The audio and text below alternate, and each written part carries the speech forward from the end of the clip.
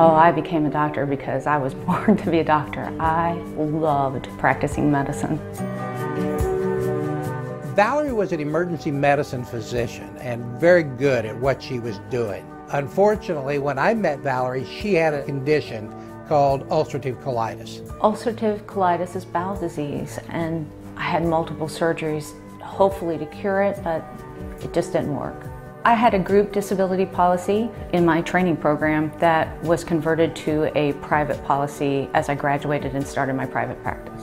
Valerie and her team came together and decided that it would be best for Valerie to stop her medical practice and to try to go on disability.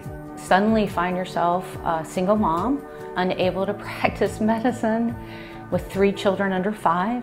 I was able to pay the mortgage and put food on the table and give them a great education because of that disability policy.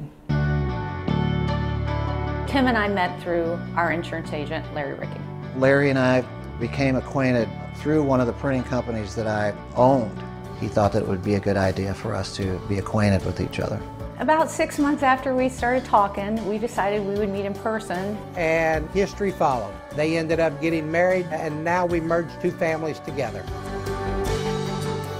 Larry had suggested that I have disability insurance, and after meeting Valerie, I soon realized that it was the right thing to do. Tim woke up in the middle of the night and said, Valerie, I've got this funny feeling in my chest. And we ended up in the emergency room. And the next day at the cardiologist's office, we found that he had an aortic aneurysm. We ended up having open heart surgery, fixing the aneurysm. I came out of that surgery uh, a, really a different person mentally.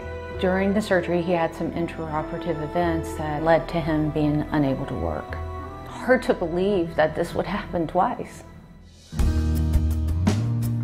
Valerie and Tim have their struggles today with their health, but what they don't have to worry about is their financial income. The most important insurance you'll ever buy is disability insurance because without your income, nothing else works. All the kids have a bright future because we had a disability policy.